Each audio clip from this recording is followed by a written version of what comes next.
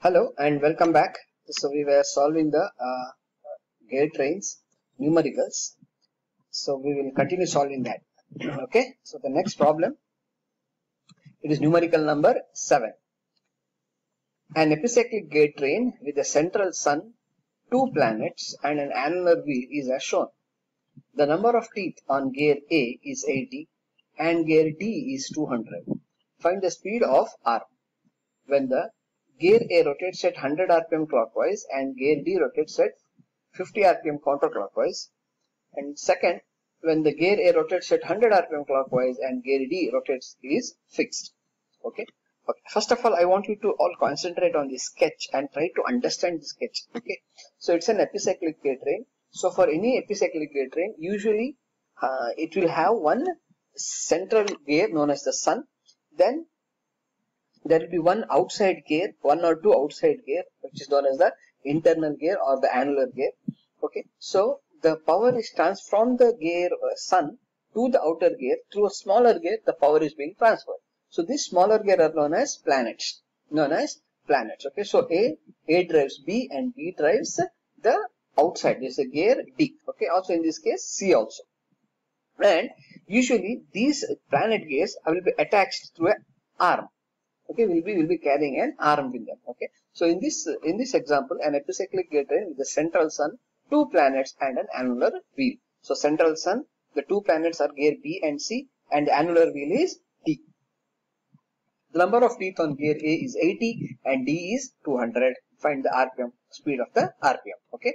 All right so once you as soon as you find out the get the uh, numerical the first thing you do is to check if they have given the teeth on all the gears. Okay, if not, you first calculate the number of teeth, and next you, you draw the tabular column. The first thing you do do that, and then you come back and see what is given in the question, and then what is being asked. Okay, all right. So in this problem also, right, they have given the uh, number of teeth on gear A and D, but B and C are not given. Okay, so the first thing is to always find that. All right. So again, from the sketch, it's pretty simple. Okay, when looking at the sketch only, you will know that the number of uh, teeth on B and C will be equal. Okay, will be equal. How is that? Okay. So you know that from the sketch, radius of gear D is nothing but radius of A plus twice the radius of B. Okay. So from this method, I'll get the number of teeth on B. Also on the other side, radius of uh, gear D is equal to radius of R plus twice the radius of gear C. Okay. So uh, using that we can get the number of teeth on both the gears okay you have this expression you know these things right? Okay. So let's go further. Once the number of teeth is found okay next what we will do? We have to look for the tabular column. Okay so this is a tabular column here. Now in the tabular column what all i need the first column is the step number i know that. Second one is the condition of revolutions or elements okay you're gonna write something. Third one is always the arm.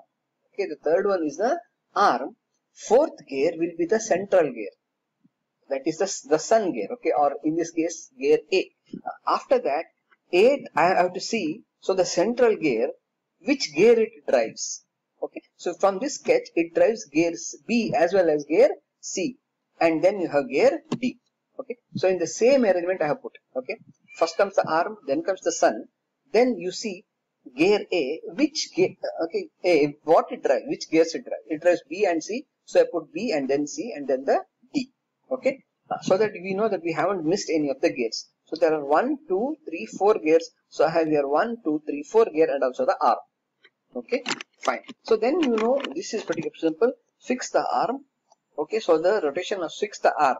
So there's no rotation to the arm. Hence arm is equal to 0. And give one rotation clockwise to gear C.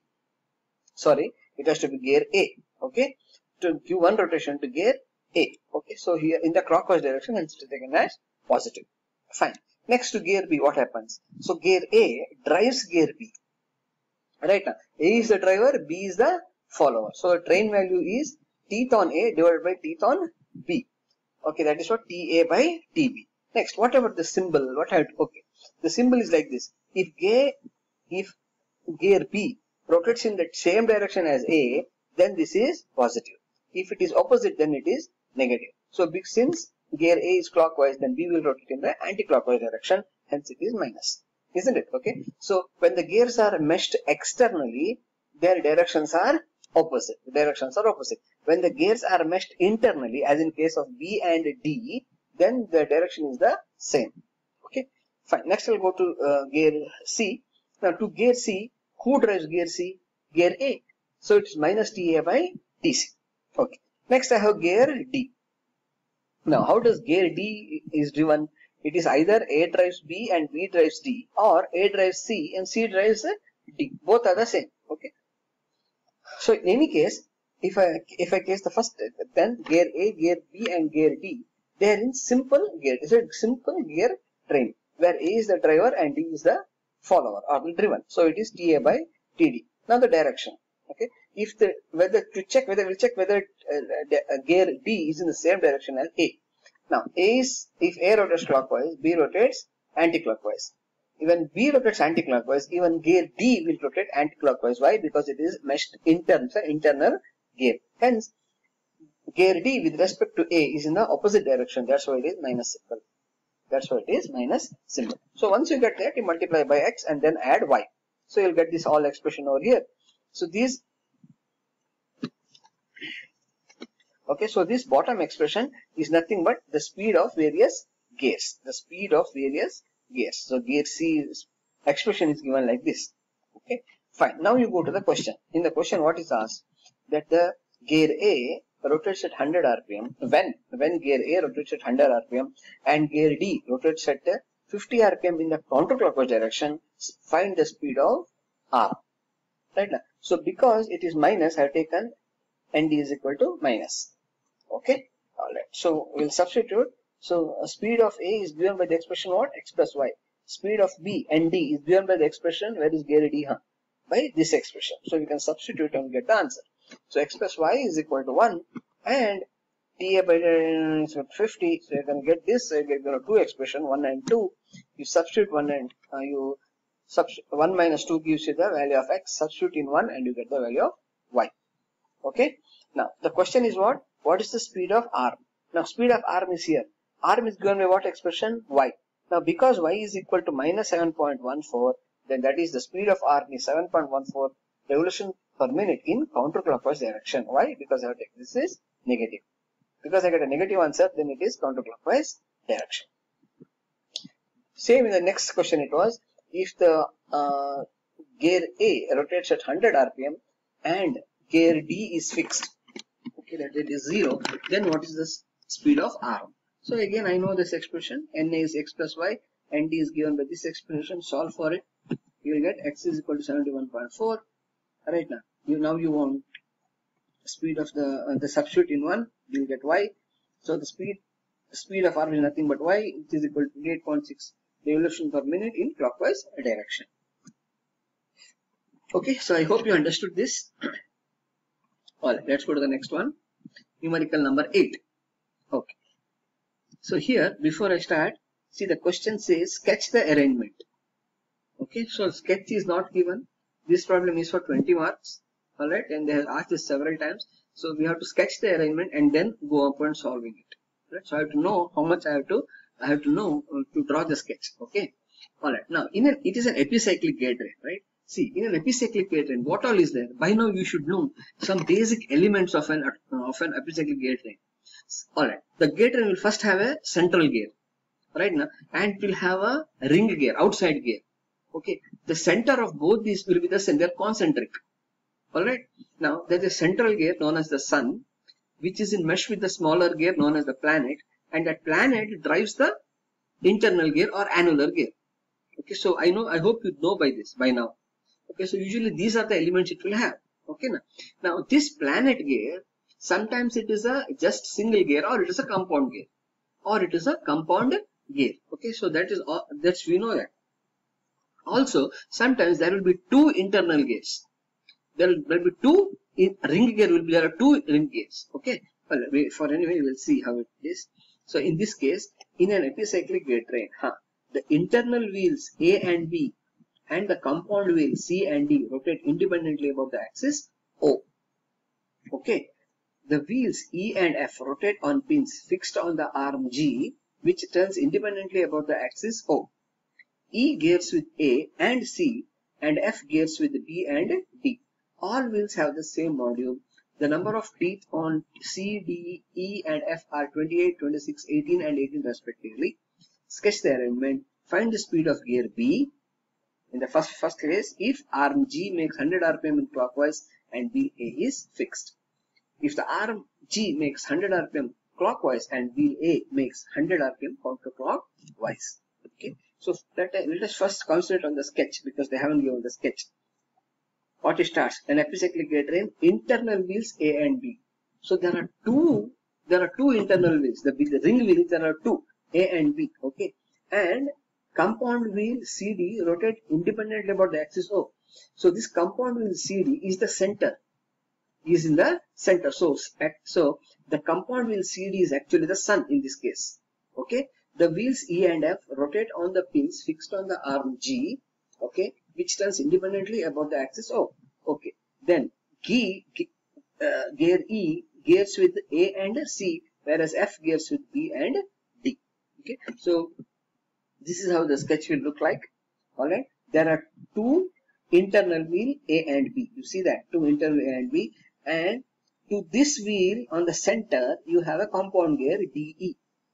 That is what it means. Okay, so this axis is O. The axis is the O. So about the same center axis we have three gears. Okay, as well as there is an arm. There is an arm. Okay, eh, which carries two gears E and F. Okay, E gears with A, gears with A and C, whereas F gears with uh, B and D. Okay, just like how the question uh, wanted you to do. Alright. So here, the center, the sun is actually the compound gear. Okay, the sun is the compound gear. So one of the gear, that is gear D, drives F, which drives B, and gear C drives E, which drives A. Okay, these are things you should know. Alright. So once you sketch this, what's the first thing? The first thing is uh, find out if they have given all the number of teeth are known. If not there, then you have to, by looking at the sketch, you're supposed to solve the number of teeth. Once that is done, then you're supposed to put a tabular column. Okay. So first, solution. So you know the uh, two teeth are not known. So from the sketch, you calculate that. So obviously you know that from here, the center here, radius of A is equal to radius of C plus twice that of radius of E. Okay. Substitute that, you will get the answer as uh, number of teeth on gear A 64. Similarly, for teeth on gear B, again from the sketch, okay, radius of B is equal to radius of D plus twice that of F. Okay, then substitute that, you'll get the number of teeth as 62. Okay, so you see, observe here, number of teeth on gear A is 64 and TB is 62. Okay, so from here only you should know that because the A has more number of teeth, it should be a bigger teeth, bigger than B. Okay, see according to sketch also here, gear B is bigger than gear C. Okay, because more the number of teeth, the bigger is the size. Alright, why? Because that they have the same module and means same for all. Okay, so once this is done, you're supposed to draw the tabular column. Alright, so draw the tabular column. Uh, how many you need? Arm. One is for the arm. Then for the compound gear, CD in the center. It's not separate because it's a compound gear. Then, then you have E and F, E and F, and then A and B. Okay, it could be in any order. It could be F and E or B and A. Doesn't matter. Okay. Once that is done, arm is given zero rotation. Compound gear is one. Okay. Then gear E. What drives gear E? C drives E. So it's a simple gear train. And the direction is opposite. Okay. That's why it is minus PC by D. Then you have gear F. What drives gear F? Gear D. Okay. Here. So TD by TF. It's minus. Then gear A. What drives A? C drives E, E drives A. So it's a compound gear train and the driver is the C and A is the driven. So T by C. Similarly, where B is TD by TB. Why? Because D drives F and F drives B. Okay. So once you get that, multiply by X and then add X plus Y. Okay. Then you know that number the speed of G is 100, NA is equal to 0. Find B, substitute the values and get the value of NB. Okay. Similarly, the last one ng is 100 and na is given as minus 10 substitute and get the answers all right so i hope you understand uh, make sure to uh, study this one more time and this is given as assignment all right and this video is shown in the class all right okay see you tomorrow